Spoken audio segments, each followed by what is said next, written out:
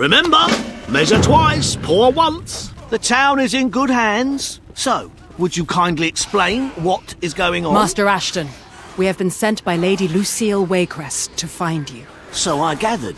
But why me? Lady Lucille has reforged the Order of Embers, using ancient texts as our guide. We will fight these witches as we once battled the Drust. She found an alchemical recipe that was effective in the past.